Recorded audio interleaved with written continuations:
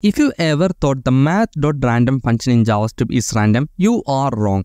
Once in a while, you might need to generate some secrets for your user on the browser. You might be tempted to use something like math.floor, math.random into max minus min plus 1 plus min just for the sake of doing it. However, what may seem random here is not exactly random. In most browsers, math.random is implemented using a pseudo-random number generator. This means that seemingly a random number is derived from an internal state. The random number function is an equation that simulates randomness, but it remains as a function. Users might perceive it as a random because it closely resembles randomness but it's not truly random. So what does math.random really do? Math.random returns a number value with a positive sign greater than or equal to 0, chosen pseudo-randomly with approximately uniform distribution over that range using an implementation dependent algorithm. The function also takes no arguments. The random number is derived from an internal state which is altered by a fixed algorithm for every new random number. Thus, for a given initial state, the sequence number is deterministic. Let's take a simple simple case where we roll a die. When we use math.random in JavaScript to stimulate rolling of six-sided die, each outcome has an equal probability of occurring, which is 1 by 6. When you roll a fair six-sided die repeatedly over a large number of tiles, the average of all these rolls will converge towards 3.5.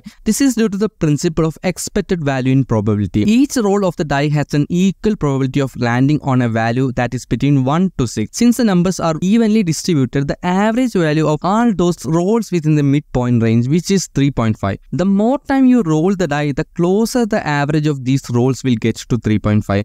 As you can see, the frequency of getting a number is almost the same, indicating that it is not truly random. In most programming languages, including JavaScript, most random number generators are not truly random. Computers generate random numbers using mathematical formulas, but these numbers aren't truly random because they are produced using a mathematical formula. You know the number 22 by 7 or what you call pi feels like a random number, right? but we can estimate the value of pi. We use the Monte Carlo simulation to do this. Monte Carlo simulation is a way of using a repeated random sampling of input variables to estimate another value.